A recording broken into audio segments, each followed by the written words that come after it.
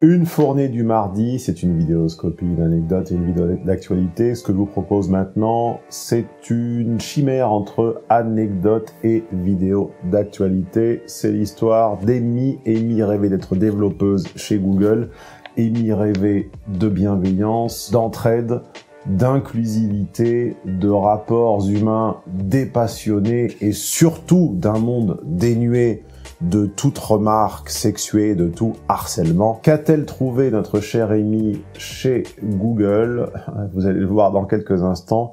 Les plus cyniques d'entre vous ne seront pas tout à fait surpris. Mais avant cela, ah oui, alors pardon, juste avant la pub, je vous précise que je n'ai pas trouvé l'article en version française, donc je vous épargne une traduction besogneuse de l'anglais vers le français, donc je vais vous le raconter de manière un petit peu elliptique. Il y aura forcément des imprécisions puisque je ne serai pas dans une traduction mot à mot. Les anglophones pourront consulter le lien original ci-dessous.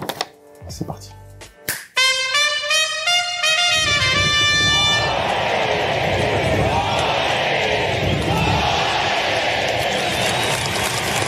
Alors après l'opération unique de réduction du mois de mai, de 14 ans, c'est dégueulasse. L'opération unique de réduction du mois de juin. Bah oui, ça c'est ce que vous vendrez à un web entrepreneur, un web loser, comme je les appelle. Sauf que chez Tintin, chez Stéphane Edouard, quand on dit que les remises de l'anniversaire sont exceptionnelles et n'auront plus lieu avant six mois, eh ben c'est vrai. Donc voilà, plus rien jusqu'au fait de fin d'année.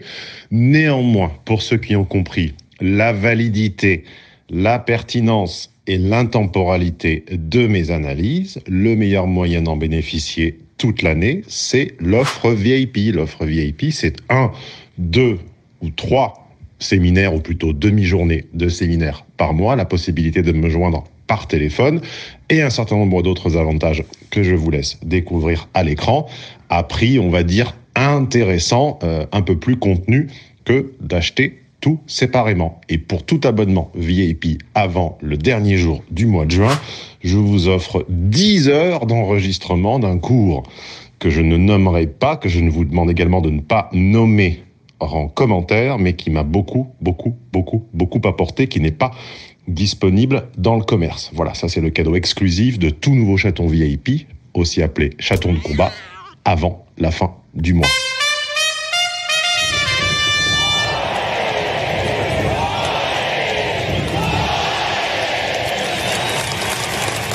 J'étais un développeur Google et cette phrase, cette expression a défini une grande partie de ma vie. Ça ne me surprend absolument pas, anecdote que j'avais déjà racontée il y a de nombreuses années. Une euh, collègue consultante, pendant la brève époque où j'étais salarié, également se définissait tellement par son travail qu'elle avait un jour, je vous jure que c'est vrai, je cite, je m'en souviendrai toute ma vie, elle avait ressenti quelque chose de proche d'un orgasme. Pendant un entretien d'embauche, le recruteur avait passé plusieurs minutes avec la main posée sur son CV et elle s'est sentie touchée tellement elle s'identifiait à son CV. Elle avait ressenti un plaisir physique proche de l'orgasme. Euh, ça, ce n'est pas Amy Nidfeld, c'est mon ancienne collègue Perrine on sait jamais, peut-être que près de 20 ans plus tard, 15 euh, ans plus, 16 ans plus tard, elle nous regarde peut-être. Si tel est le cas, Perrine, salut Quand nous dit Amy, j'ai rejoint Google, c'était en 2015, à la sortie de l'université, et c'était l'intronisation de Google comme roi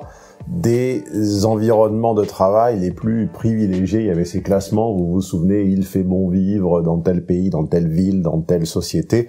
Google était au top de tous ces classements. Amy nous dit avoir complètement avalé le, le roman, hein, pas le roman national, mais le roman, on va dire, d'entreprise, l'histoire d'entreprise. Au lycée, alors là, elle nous fait un petit peu, elle nous tire un petit peu la larmichette, mais enfin, bon, vous savez, c'est dans l'air du temps, hein. il faut toujours se prévaloir d'une grande difficulté euh, économique, familiale, que l'on aurait surmonté par sa volonté personnelle. Bon, alors elle aurait surmonté une période de sans domicile, on comprend pas très bien pourquoi, et également une famille d'accueil dans laquelle elle était souvent ostracisée pour être un petit peu trop nerd, autrement dit un peu trop asocial et un peu trop tourné vers des loisirs, euh, on va dire, euh, centrés autour de l'informatique. Elle a tant attendu le prestige d'un poste comme celui chez Google et à la fois par la sécurité que ça pourrait lui procurer, mais également par le plaisir d'être environné de gens comme elle, son manager. Alors on verra dans quelques lignes que tout est assez peu clair. Il y a quelques confusions euh, dans l'organisation, j'ai dû le relire à deux fois. Quand elle parle de son manager, c'est en fait son N plus 2 avec lequel elle chérissait et elle nourrissait une relation de type père-fille, dit-elle. Il croyait en moi et s'intéressait à mes sentiments. C'était le père que j'aurais voulu avoir et euh, je n'avais qu'un vœu, je n'avais qu'une ambition, c'était de progresser dans l'entreprise à ses côtés.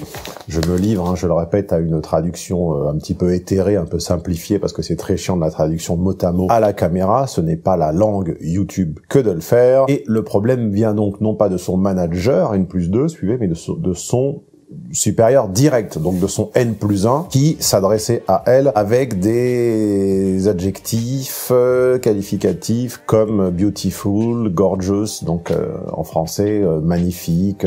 gorgeous, c'est pas tout à fait sexy, c'est vraiment une espèce de beauté abondante, renversant, voilà, c'est magnifique, renversant. Qualificatif qu'elle trouvait manifestement déplacé ou exagéré et à l'issue desquels elle aurait demandé simplement qui qu'il cesse. Bon, alors finalement, ils, auraient, ils seraient tombés d'un commun accord sur une expression peut-être un petit peu moins connotée qui serait my queen, c'est-à-dire ma reine. Et le fameux supérieur, donc désormais harceleur, en tout cas selon les dires de l'intéressé, euh, lui demandait également de la setup, c'est-à-dire de lui brancher des, des amis. Donc pour quelqu'un qui serait en obsession sur elle, ça, ça, me paraît un peu étonnant quand même de lui demander de brancher des amis, mais c'est ce qu'il faisait, et des amis si possible blondes et grandes comme, comme elle. Bon, elle a jugé que c'était du harcèlement, ce n'est pas l'objet de la vidéo que d'en juger, certains d'entre vous pourront dire que c'est un petit peu léger, en même, en même temps il faut connaître les contextes d'entreprise et les nouveaux codes, les nouvelles règles, les nouvelles conventions en vigueur. On vous a suggéré et proposé un jeu à cet effet avec Léo, le cousin américain euh, en exil à San Francisco dans la tech justement. On vous a mis en ligne il y a plusieurs euh, mois maintenant un jeu Seriez-vous harceleur aux USA? Jouez-y si vous voulez comprendre un petit peu comment les choses fonctionnent là-bas. Il y a évidemment un tropisme culturel euh, qu'il faut qu'il faut qu'il faut prendre en compte.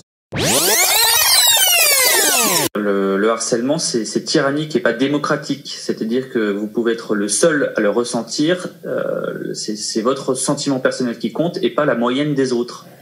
Bref, en tout cas, admettons que ce soit du harcèlement, c'est pas vraiment l'idée. Encore une fois, le propos de la vidéo est ailleurs. Donc, elle nous explique que le problème, c'est qu'elle avait beaucoup de mal à s'exprimer, soit à ses proches et encore plus à sa hiérarchie au sujet de ce harcèlement, en tout cas considérons-le comme tel, au sens où bah, ça revenait à remettre en cause, hein, à faire une espèce de révisionnisme euh, en temps présent du roman d'entreprise Google qui se prétendait comme tout sauf une entreprise traditionnelle. C'est tellement peu une entreprise traditionnelle que, disait-elle, il subvenait à chacun de nos besoins, voire les anticiper. Dans les salles de repos, on avait des napodes, c'est-à-dire des tables, des, des lits pour faire la, des endroits pour faire la sieste, des chaises de massage, des cotons-tiges, un système de minibus était mis en place pour leur éviter de prendre les transports en commun, c'est-à-dire que tout était présenté comme si le monde extérieur était imparfait, incomplet et hostile, et donc seul Google pouvait subvenir évidemment aux besoins de ses employés avec cette prévenance. Hein. donc encore une fois, ça renforce l'illusion familiale pour ses employés euh, un petit peu tendres. Et Google est-elle, était, dit-elle, le l'image du jardin d'Éden. Nous vivions dans la peur, je vivais dans la peur d'en être, euh, d'en être euh, évincé. Quand elle a commencé à partager le récit, les anecdotes de harcèlement avec ses proches, on lui a répondu mais tu as un des jobs les plus sexy du monde, de quoi te plains-tu? Et justement, elle euh, s'est remise en question en disant peut-être suis-je un petit peu trop fragile pour cet environnement. Mais bon, finalement, la remise en question a, a, a duré un an. Euh, elle a considéré que c'était un prix finalement raisonnable à payer pour toute cette avalanche d'inclusion, de bienveillance et de positivité euh, psyrosée dans laquelle elle, euh, elle baignait. Et euh, là, la pierre d'achoppement de l'histoire, c'est quand le manager, donc le N plus 2, a pris un cran et donc le N plus 1 est devenu le N plus 2. Et elle s'est dit, mon N plus 1 me pèse et me nuit un petit peu en tant que N plus 1. En tant que N plus 2, il aura plus de pouvoir sur moi. Ce qui est un petit peu étrange, moi, ma maigre expérience du salariat m'a montré que généralement, quand quelqu'un montait d'un jalon et prenait du galon, vous aviez moins d'opportunités d'être en contact avec lui. Bon, manifestement, chez eux, ça ne, ça ne se passe pas comme ça. Donc, quand le N plus 1 a pris une place en plus, eh bien,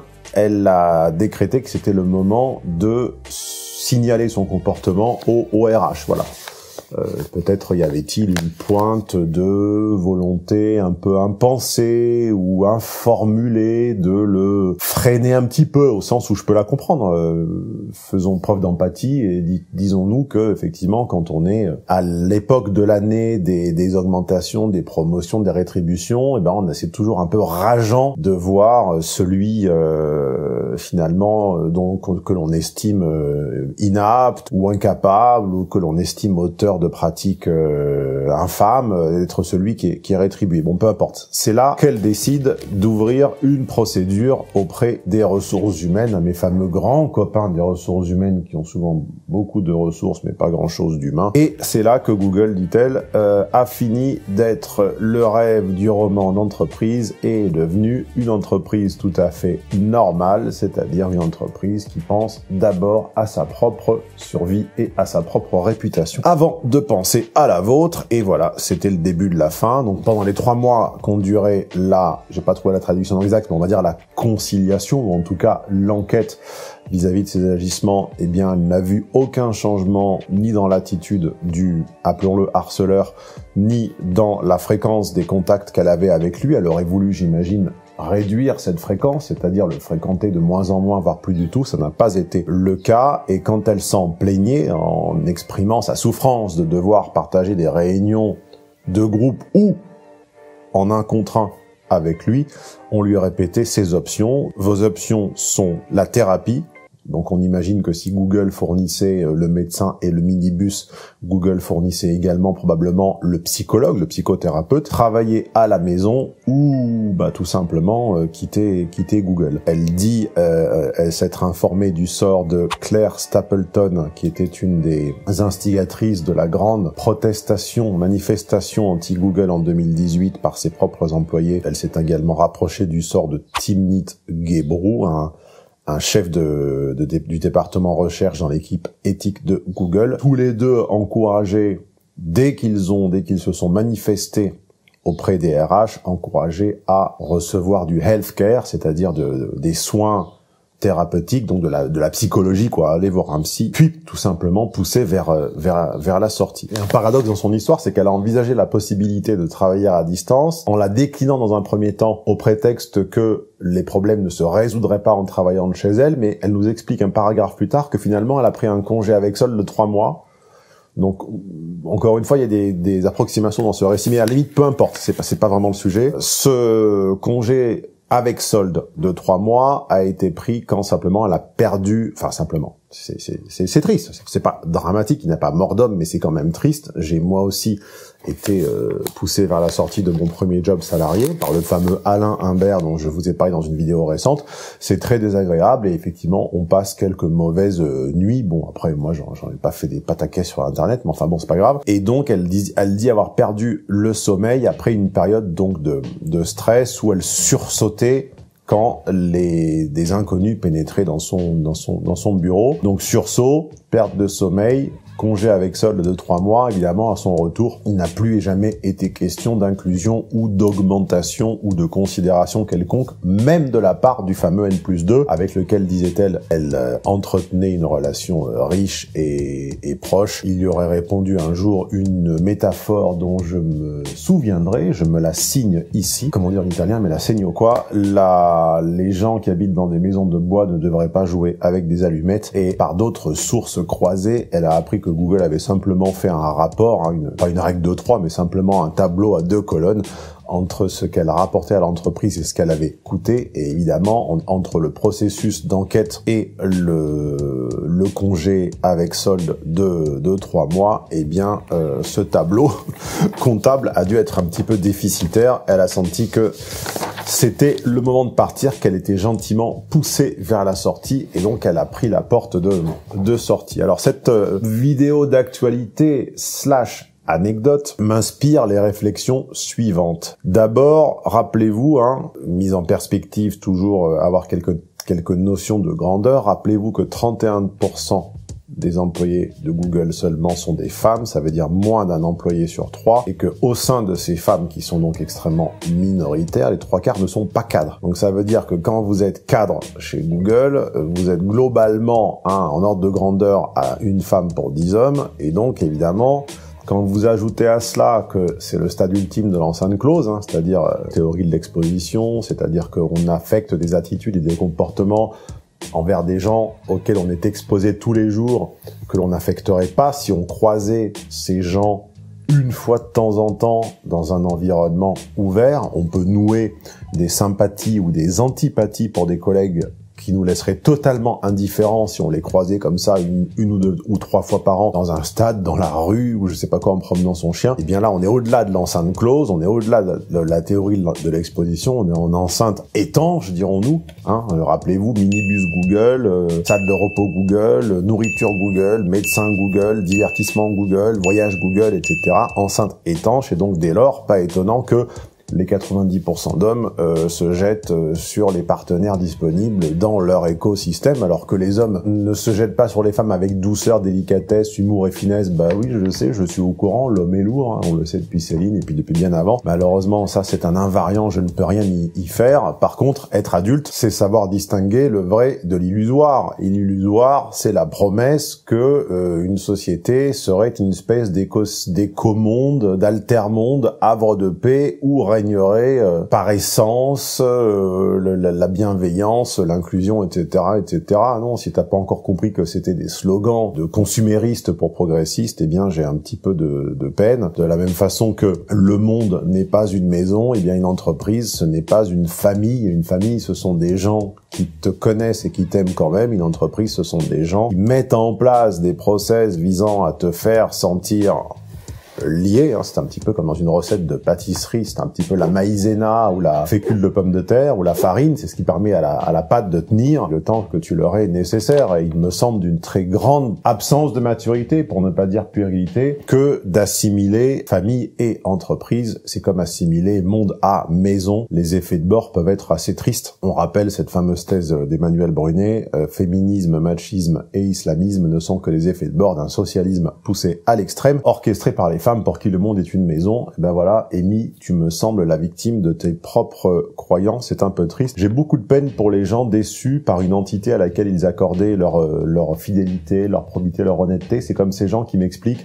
je suis à la même banque depuis 40 ans, il y a eu une erreur dans un virement, ils ne veulent rien entendre, ils sont inflexibles.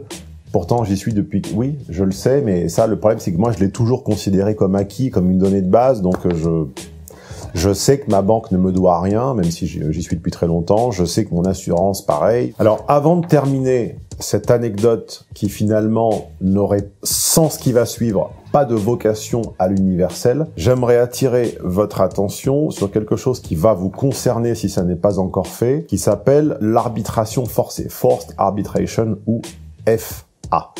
FA étant évidemment un acronyme qui n'a rien à voir avec le président d'un petit parti politique euh, au compteur un peu approximatif parfois. Le FA est euh, ce processus de règlement des conflits internes aux entreprises qui a fait polémique à de nombreuses reprises ces dernières années au sens où premièrement il défavoriserait soi-disant les femmes, on verra que c'est pas vrai, et secondo il est en fait inséré dans votre contrat de travail au moment où vous êtes en position de faiblesse, entre guillemets, puisque vous n'avez pas encore signé, on vous promet le poste, on vous en promet les, les, bénéfices, la rémunération, tout est négocié. Quand on vous convie à signer, il y a une petite ligne qui s'appelle arbitration euh, forcée, enfin en tout cas qui correspond à ce concept d'arbitration forcée, et qui en gros, euh, où vous vous engagez à ne pas poursuivre l'entreprise en, en cas de conflit interne ni au prud'homme, ni devant la juridiction compétente de l'État ou du comté, mais simplement vous passerez d'abord par un processus de résolution interne, arbitration forcée devant donc des gens qui ne sont pas juges, qui n'ont même pas forcément de background juridique, Et surtout, à la limite, moi je pourrais m'en passer. Hein. La, la, vraie justice, je l'ai vu, euh, j'ai bien compris euh, les biais dont elle ne se cachait d'ailleurs même pas. Mais à la limite, pire que le fait l'absence d'assises juridiques, c'est que euh, qui rémunère ces arbitrateurs, en français on dirait ces médiateurs, c'est l'entreprise elle-même. C'est là le problème. Donc penchez-vous je, je, vais me muer en lanceur d'alerte, je vous instille comme ça une petite graine penchez-vous sur le problème du forced arbitration, ou, de la médiation forcée en français. C'est quelque chose que vous signez souvent à votre insu, dans un moment où, entre guillemets, vous avez négocié ce qui comptait à vos yeux et vous êtes à un pas du futur emploi de vos rêves, et c'est vrai que vous avez souvent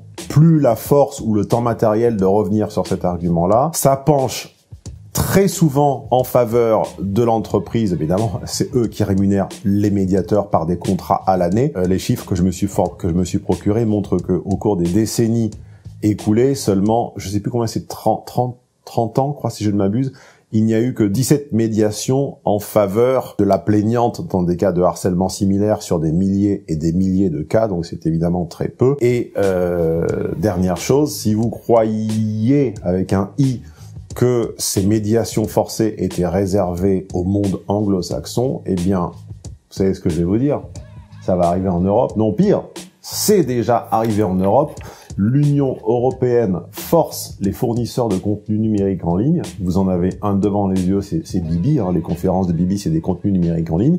Eh bien, quand on distribue des contenus numériques en ligne et qu'on veut se mettre au carré en règle avec la législation, eh bien, on est tout simplement obligé de proposer, avant un recours juridique, judiciaire, une médiation à ses frais. Donc c'est, je suis obligé, parce que je souhaite être en règle avec la réglementation, à l'année de rémunérer une médiatrice. Alors j'ai pris une des moins chères parce que je ne crois pas au principe. Et puis d'abord j'ai très très peu de j'ai très très peu de problèmes clients. J'en ai je crois un sur mille ou quelque chose comme ça. C'est insignifiant dans le business. D'ailleurs si je vous avais dit zéro, ça serait même inquiétant. Un commerçant qui vous dit n'avoir, jamais avoir eu un conflit de client, c'est un mensonge. On en a, mais on a, quand on est sérieux et propre, on en a très très peu. Et euh, ça se règle euh, tout simplement sans passer par la, la, la, médiation. Mais je, je vous le dis, les fournisseurs de contenu numérique en Europe sont contraints par la l'Union européenne d'ajouter à leurs conditions de vente, exactement à l'instar de ce que font les GAFA aux États-Unis, cette clause, d'ailleurs consultez mes conditions de vente si vous le souhaitez, vous verrez est à la fin, que le médiateur est requis. Donc c'est notre version de l'arbitrage forcé, c'est notre version de l'exception culturelle, c'est l'empire qui s'immisce, enfin bon bref, c'est la cuisine habituelle. Bref, vous connaissez ma thèse, les progressistes seront et sont déjà les cocus du monde qu'ils ont contribué à ériger, à l'instar d'Amy, l'ex-développeuse Google, qui n'a eu comme tort que d'accréditer les balivernes des sociétés euh, qui lui vendaient du rêve. Méditons, méditons Amy, et poursuivons la visite de la chaîne avec cette vidéo.